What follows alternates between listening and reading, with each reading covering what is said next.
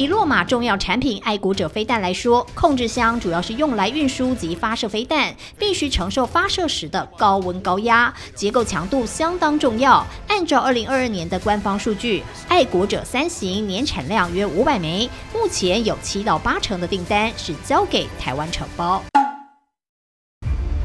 来到台中中科这家精密加工厂，广达上万平的厂房里头放满大型加工设备，最大的机台几乎有近一层楼高。产品从半导体、光电产业横跨到国防航太领域，而这家企业来头其实不小，是为全球军火大王洛克希德马丁打造出飞弹控制箱的供应商。这个东西本来是在他们自己的合资厂商在德国生产的。那所以我们在接受这样的一个东西的过程当中，当然了，对我们来说，它必须要重新建立很多不同的能量。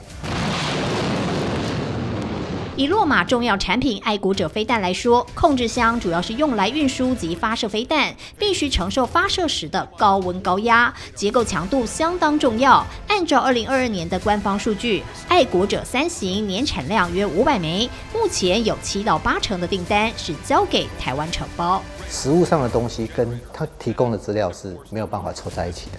所以我们也跟着他们一起，甚至协助他们把一些图、资料跟一些。把它正确化。这一条线基本上，它只否为了这个所谓显示器的这个铝合金清洗线来准备的。由于国防产品加工区保密到家，无法直接对外曝光，业者带着我们参观面板设备的加工产线。这边来讲，当然我们大概是比较偏重于中小型的零组件啊，或者是比较高精密、特殊的零组件的一个加工的区域，半导体或是国防产业，甚至航太产业。基本上都可以用到类似的这一些设备。即使不是国防产线，管理同样严谨。采访团队除了事先申请的摄影机，个人的手机镜头都被贴上贴纸，不可任意拍摄。而目前全场员工约五百人，只有一成有权进入洛克希德马丁的生产区。从设备到人力都是洛马专用。他们不但经过特殊训练，还得签署资安保密文件。上班时也得交出手机，集中放置。跟国防产业相关的这些治安的训练。那所以，包括我们的所有作为人员，跟我们会相关接触到的这些人，第一都要先经过这样一个训练，然后再来就是我们所有的这些区域，基本上它是隔离跟管制的。很难想象的是，这个厂商在一九八零年代其实是做鞋起家，一路做到飞机引擎，甚至飞弹发射箱零件。关键的技术也是从那时候开始扎根。早在四十多年前，国内的工具机都还没普及，业者就从日本引进 CNC 加工设备，是当时少数有能力切削大型金属件的业者。没想到就此取得汉翔在国际航太供应链的敲门砖。鞋子也有很多东西跟飞机是很类似的，它并不是一个四四方方，它一定是一个曲面，它必须要去符合。这一些人体的工学，过去这个几十年来最畅销的一颗引擎啊，那它是用在我们一般七三七或是 L 八十三二零这个系列上面的引擎。展示架陈列着飞机金属构件，能看到引擎机匣、起落架舱门等关键产品。高强度的超合金曲面加上复杂结构，切削时得克服许多的技术瓶颈，但也因此累积到深厚加工实力。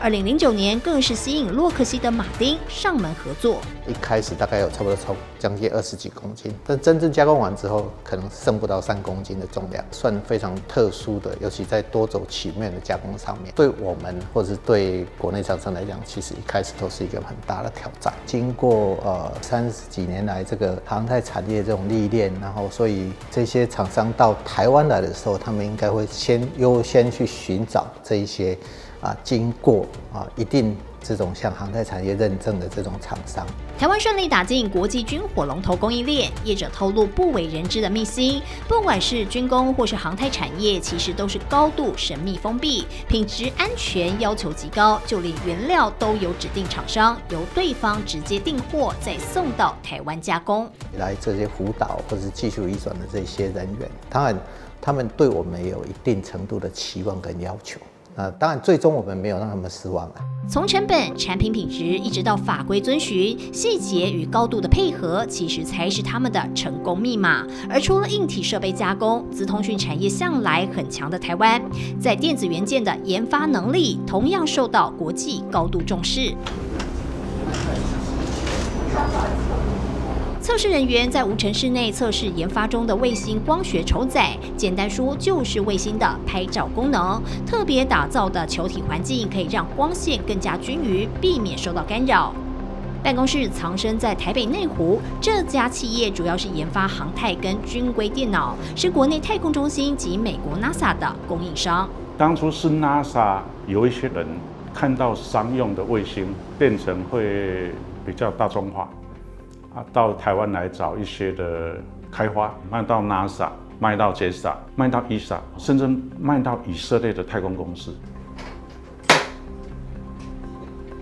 把电路板放进机台测试温度，最低可以模拟摄氏零下六十度。由于太空环境严苛，电脑系统必须保证在各种辐射跟压力下都正常运作。振动测试要求就高达二十四 G，是车载产品的八倍。火箭的话，它要六 G，而且都不能停。你的仪器设备，你都还是可以正常工作。所以我们必须要去模拟我们的东西在那种严苛的环境。它是可以生存的。业者每年可出货上百套电脑系统，提供给三到五颗卫星使用。航太等级的电脑产品要求极高，顺利获得航太认证后，国防供应商也找上门合作，请他们打造飞弹控制系统。而目前军用订单约占四成的营业额。只不过军工产品涉及国防安全，采购方往往都很神秘，在下单时也不会告知产品到底要用在哪里。我们把卫星的这样子的。Knowledge 我们用在啊军用的部分，我们有接到很多军用部分的一些的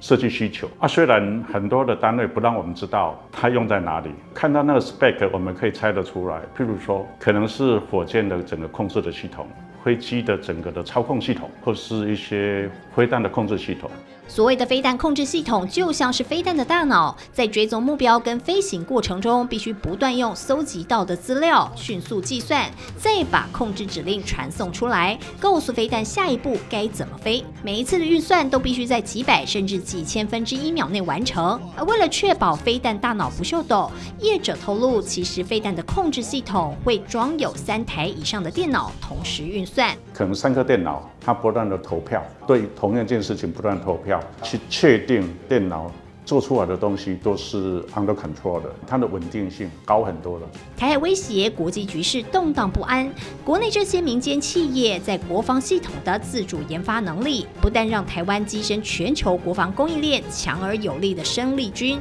更成为台湾国防自主的最大后盾。